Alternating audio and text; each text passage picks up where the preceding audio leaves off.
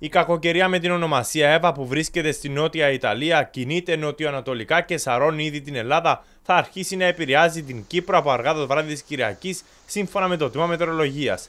Θα φέρει μαζί της έντονες βροχοπτώσεις, καταιγίδες και ρηπές ανέμων. Τοπικά τα φαινόμενα αναμένουμε να είναι έντονα, ενώ σε καταιγίδα πιθανό είναι και η χαλαζόπτωση. Φαίνεται ότι φαινόμενα θα συνεχίσουμε να έχουμε και για την Τρίτη σε πιο ήπια μορφή και περισσότερο μεμονωμένα, καθώς και την Τετάρτη. Κατά τη διάρκεια εκδήλωσης της καταιγίδας δεν αποκλείεται να παρουσιαστεί και κεραυνική δραστηριότητα.